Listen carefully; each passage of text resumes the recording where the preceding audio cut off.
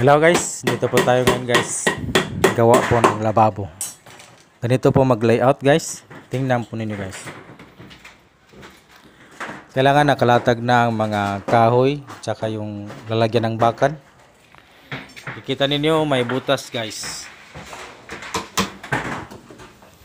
Yan guys. Tawag dyan ay formas. Gawaan siya ng formas. Ito ang kaniyang purpose na poste. Bubuhusan po yan. Ito naman po yung pangalawang poste niya. Ito po ay latagan po ng gasol. Dito po ilalagay. Dalawang burner po yan. Then may malawak dito nakikita ninyo. Ito naman yung ah, gagawing lababo niya, lababo. Medyo malaki-laking lababo ito guys. Dapat po kung gagawa po tayo ng poste, may formas po niyan. Nasa gitna, palagitnaan ng kanyang bakal. Tulad po ng ginagawa ng isa naming panday dito po, gumagawa siya ng formas. Yan po ang tinatawag na formas. Diyan po ibubuhos yung semento po ng poste. Yan naman po yung kanyang bakal.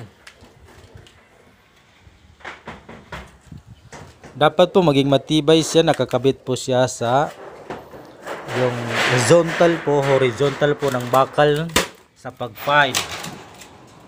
Ayan, ayan. Tinatali po yan siya.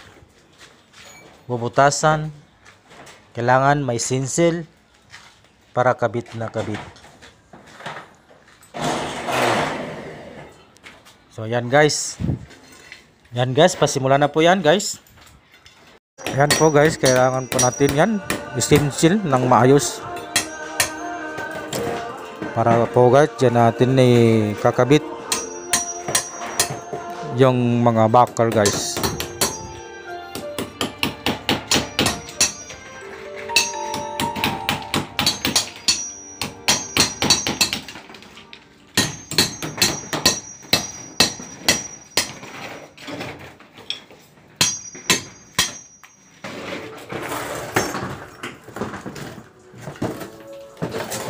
Tingnan po ninyo guys, ganyan po gagawa po ng ah, lababo sa ating mga bahay. Kung gusto nyo magpalagay, magpagawa ng lababo, kahit po tayo-tayo lang. Sinong medyo marunong, sinong medyo marunong magpanday pandaot, basta dili lang madaot, atong balay, atong pandayon.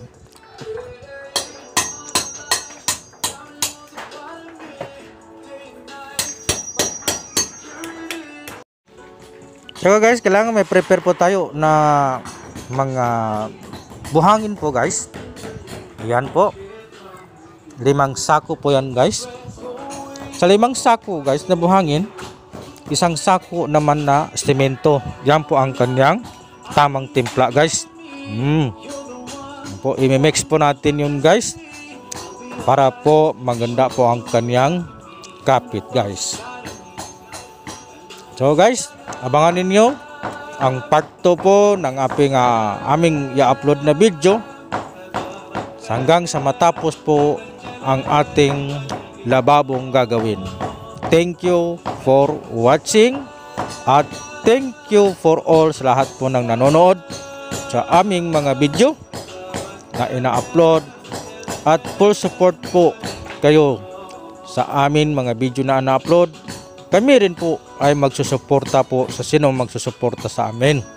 So, like and share. Don't forget mag-comment po. Subscribe sa aming Facebook channel Octi of Din.